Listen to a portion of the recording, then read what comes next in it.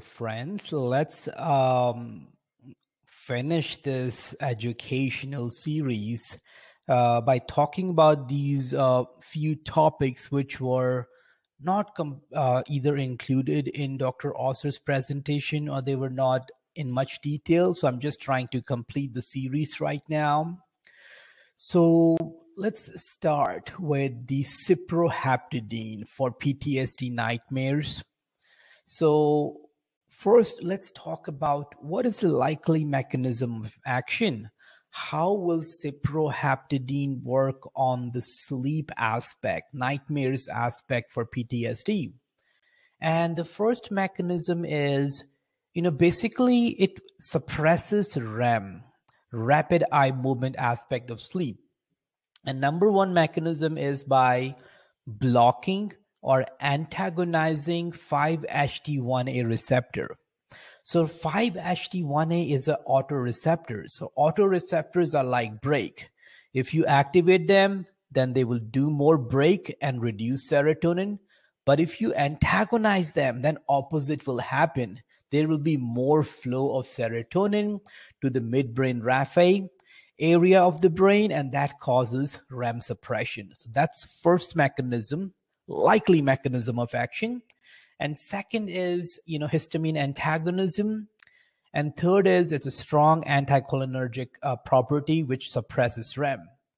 Now, in the end, I will talk about side effect of this medicine, and I think the anticholinergic and maybe histamine antagonist effect will play some role in choosing this medication cautiously.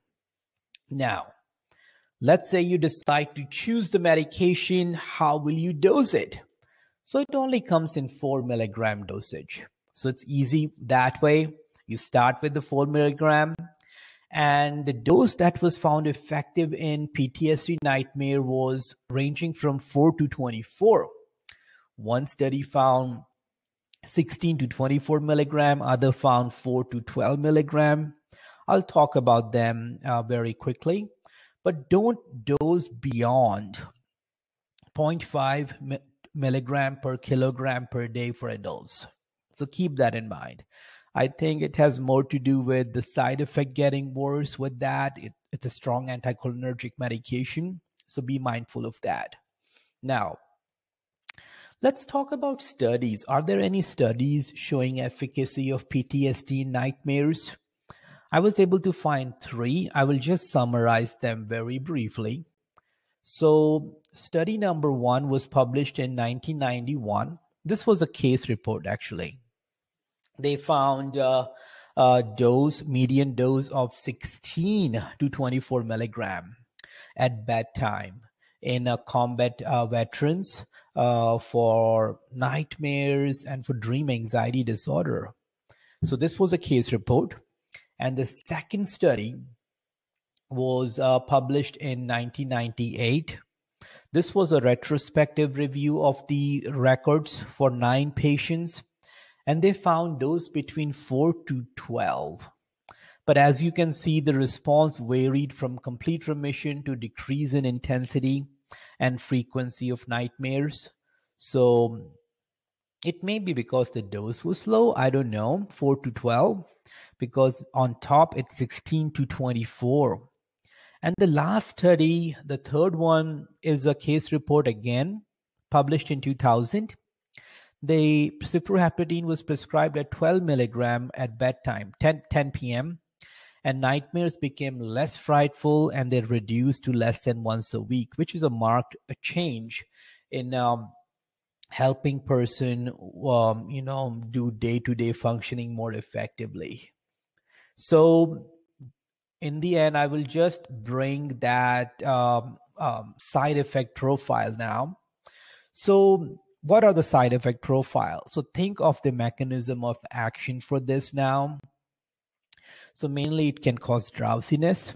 Uh, it's an histamine antagonist. Irritability can happen, which I'm assuming may be due to that serotonin flow increase, but uh, because serotonergic antidepressants can do that too. Hallucinations are um, known side effect with that, so keep an eye on that because uh, in PTSD, you know, hyperarousal symptoms are there. So you need to separate that from cyproheptadine side effect versus underlying PTSD causing hyperarousal or dissociative uh, symptoms. And then nausea due to the serotonin effect, headaches due to that. Worsening of nightmares can happen too. So it can have an opposite effect. So keep an eye on that. Now, contraindication and cautions are important because it's a strong anticholinergic medication. So the main contraindications are all related to that. You know, it all makes sense, ranging from angle closure glaucoma, stenosing peptic ulcer, symptomatic prostatic hypertrophy, bladder neck obstruction, pyloroduodenal obstruction, in elderly patients and in breastfeeding females. And there are cautions as well for somebody with history of bronchial asthma, increased uh, intraocular pressure, hyperthyroidism, cardiovascular disease, and hypertension. So I just felt this is important for us to know because, you know, before we jump into this, have these things ruled out. If you feel any of them is uh, severe enough, don't choose cyproheptadine then. Now, this was our lecture. I will just bring that important slide back up that the these are the dose range that you should aim for.